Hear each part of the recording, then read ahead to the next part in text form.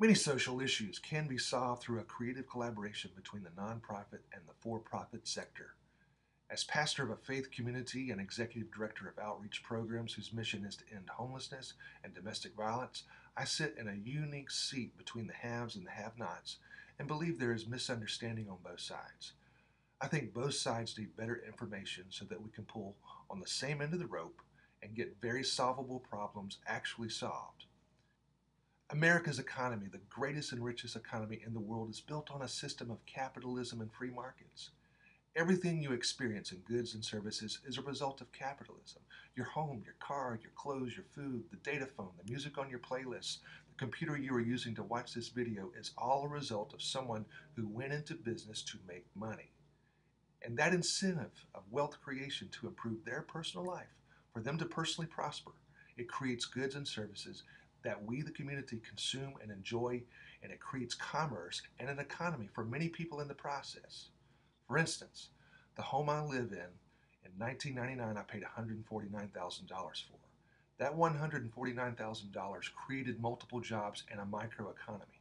The mortgage employees were paid. The contracting company and a full team of construction workers were paid. The material supply companies were paid. Its workers were paid. The manufacturing companies who make tools, siding, bricks, shingles, plumbing, electrical parts, concrete, carpet, appliances, they were all paid and their employees. Landscapers, the vehicles they drove to work in, the gas they spent getting there, it was all consumed and created a currency, money in motion that generated wealth for many. So the $149,000 did not go into a house.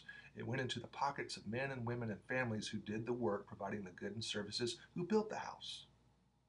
Bono, the lead singer of U2, a great humanitarian and philanthropist, recently said that he has concluded that the best way to lift people out of poverty is through the vehicle of capitalism.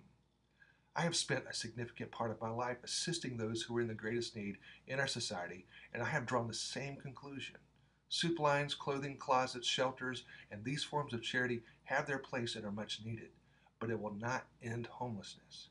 Economic empowerment is a critical component to eradicating poverty. So we need wealth creators and job creators to do their thing and to make a profit, to grow their businesses that will in turn generate economic opportunity for folks who want to jump on this ladder and climb from where they are to where they want to be. Now to the haves to the capitalists, to the wealthy. I want you to realize that to whom much is given, much is required. And for you to conduct your business in a way that has a social consciousness, enlightened business, philanthrocapitalism, if you will. Make sure that you create ladders in your organization that reaches deep enough to give opportunity to those who need a second chance. Take risks. Employ felons. Employ those who need job training, those who have low skill sets but want to grow and become. There are many of those out there, not everybody, but many who will maximize a bona fide opportunity. This is what our faith organization, Nspire Outreach, does. We partner with for profit companies like a clothing drive organization that has created an income stream for us to run our program and has, more importantly, created 100 entry level jobs for our folks coming from homelessness and domestic violence. You see, the for profit guys do the business side better than we do. Us nonprofit guys know how to support the life issues of this population so they can get on their feet. That's what we do well. So, to those of you who receive a call from us, you get an email, you get a pink or orange donation bag on your garage door.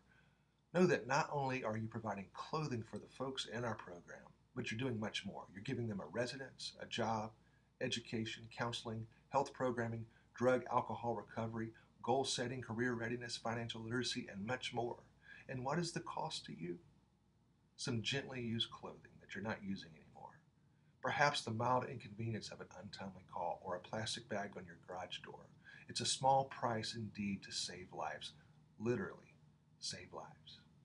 Nspire is also providing in house training and career opportunities through digital print and design, commercial and residential moving, audio video installation, landscaping, and we want to launch many more small business ideas to move people forward and up that ladder with higher wages. Dr. King said that compassion is more than flinging a coin at a beggar, but it's actually addressing the construct that created the beggar in the first place. This fusion of for profit and nonprofit is the wave of the future. We are on that cutting edge. Thank you for taking the time to watch this and thank you for your support.